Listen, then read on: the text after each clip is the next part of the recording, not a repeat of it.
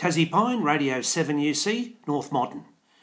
Well, I tell you what, it's not been a good week for uh, horses running around the tr- track chasing each other's tail and, and dogs chasing whatever they chase.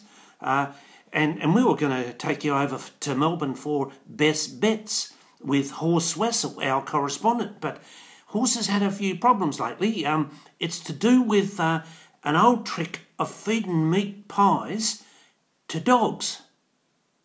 Now, I don't know what to do with them, but I think it makes them slow down if you give them a glass of water afterwards.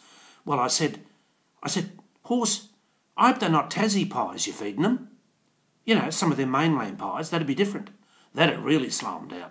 Anyway, uh, oh, he's on the line now.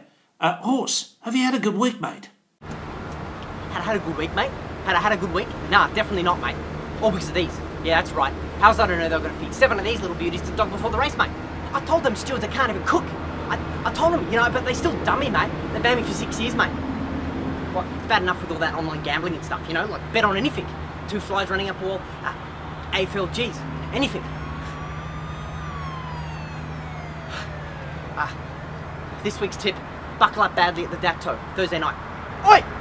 Oh shit!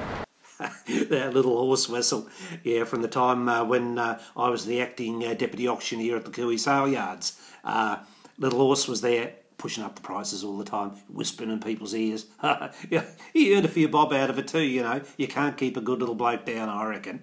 And by the way, speaking of animal husbandry and cruelty, yeah, um, Bill Shorten, what's your policy on that, mate?